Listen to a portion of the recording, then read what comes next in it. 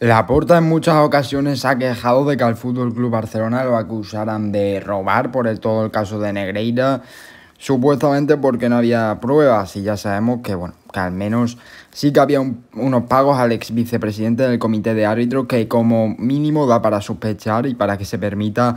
pues dudar de todos estos años en los que se ha estado haciendo esos pagos y como mínimo el Real Madrid puede estar molesto y por eso se implicó en todo este caso. Ya sabemos que la porta criticó al Madrid por esto y no únicamente que lo criticara, es que acusó al Real Madrid de robar teniendo en cuenta la situación que tiene el Fútbol Club Barcelona a día de hoy y cuando ha criticado en muchas ocasiones que se acusa al Fútbol Club Barcelona sin pruebas, ha hecho lo mismo actualmente con el Real Madrid, donde sí que no hay prueba porque el Real Madrid no ha hecho pagos al eh, vicepresidente del comité de árbitros, el Real Madrid no ha salido ningún tipo de pagos ni nada por el estilo.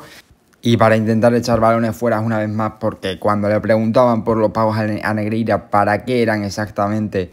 no sabía responder a, a la pregunta, a qué iban destinados esos pagos. Y bueno, pues el Real Madrid obviamente podría incluso denunciar esta situación y estas acusaciones sin ningún tipo de pruebas y podría denunciar al propio Laporta y al Fútbol Club Barcelona.